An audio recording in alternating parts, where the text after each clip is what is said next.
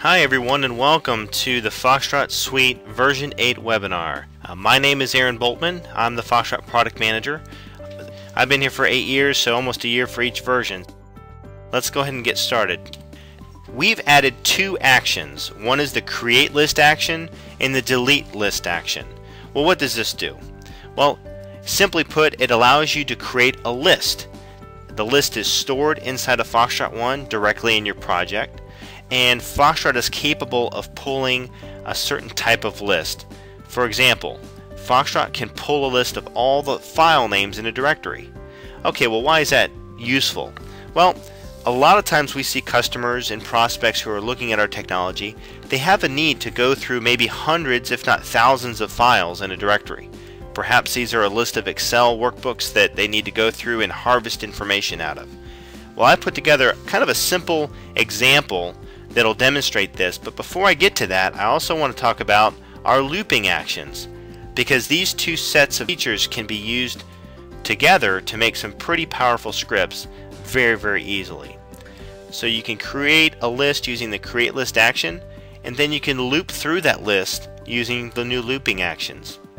As you see, the looping actions provide a wide variety of ways that you can very easily create a loop uh, advance the loop, rewind the loop, and even exit the loop.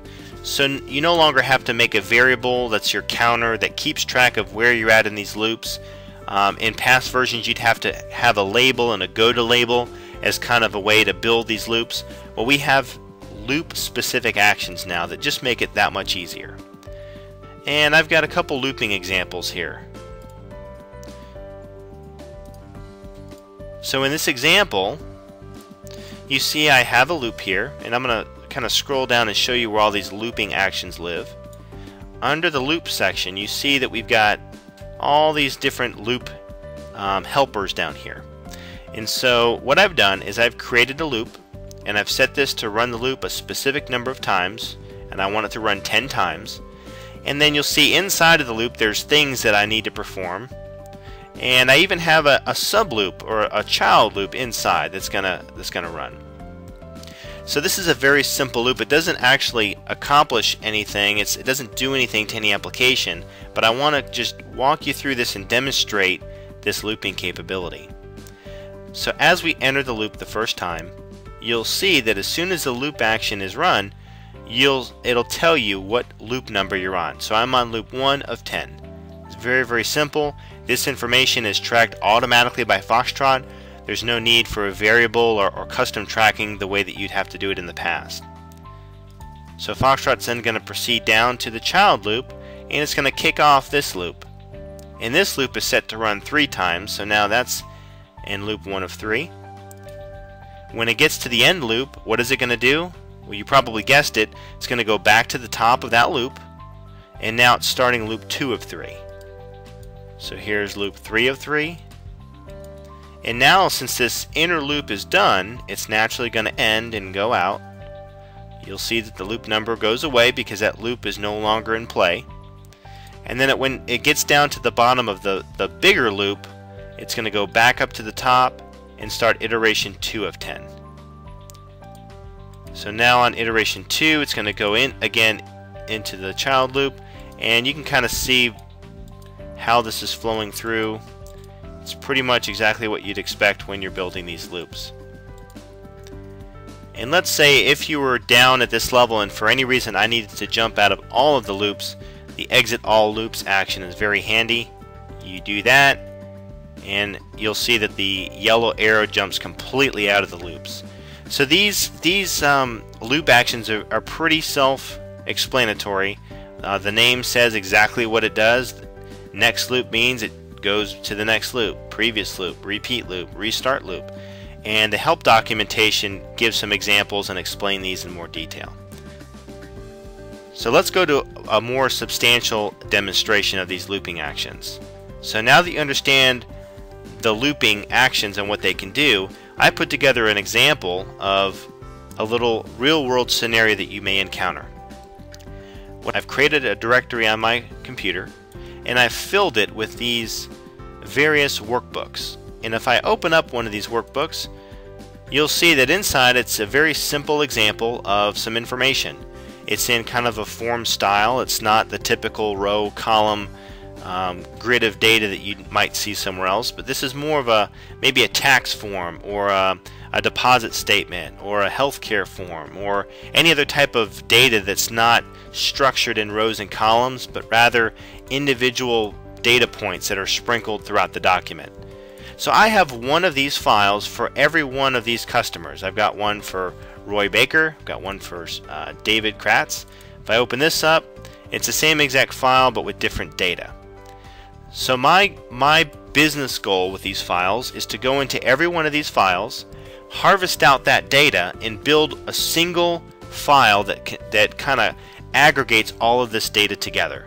This is a very common need in many organizations.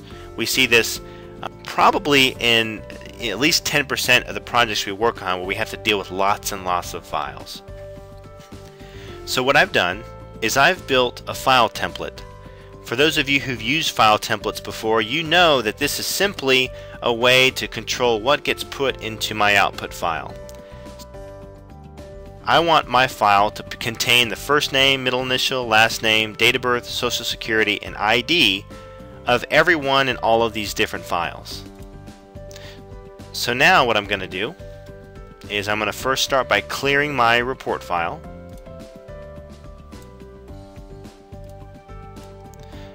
I'm using the new create list action here.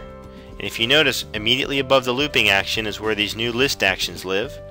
And I'm going to edit this so you can see exactly how I built this. Well, I'm creating a list and I'm calling my list my files. That's simply representative of the files I need to open here. And the type of list I'm building is a file and folder list. Now you'll notice in this drop down there's currently only one list type available. That's because we have plans in the future to provide additional types of lists. So for now we're going to create a file and folder list. And the items we want to retrieve out of this folder um, are files only. We could also retrieve files and folders and also folders only. It all depends on what you're trying to do.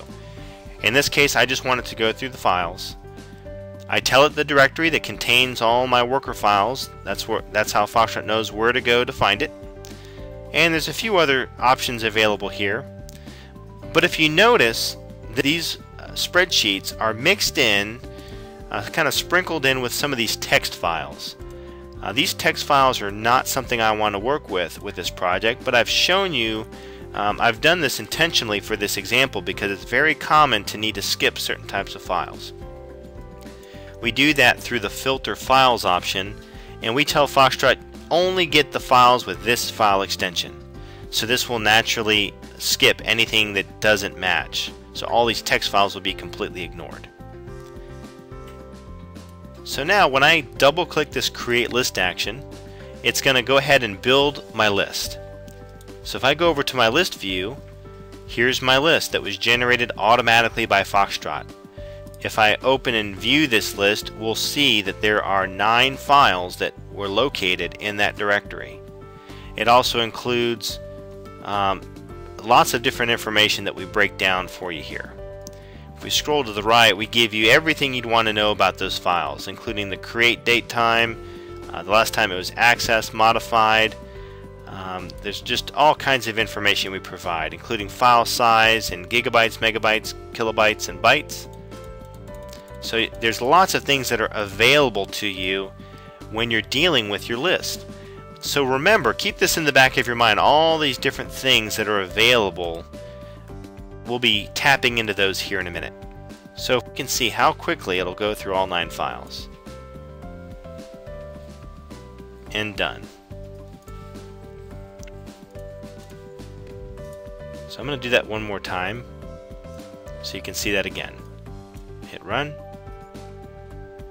and it's done.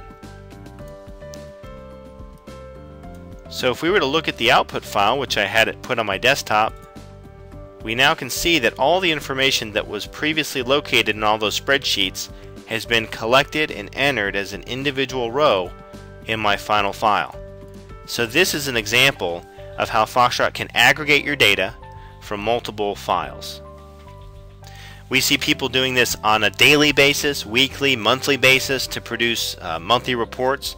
Um, we have reports of some people that run their script every 15 minutes for the past several years. We've had someone said that they had a script run for two years every 15 minutes without stopping. Pretty impressive stuff.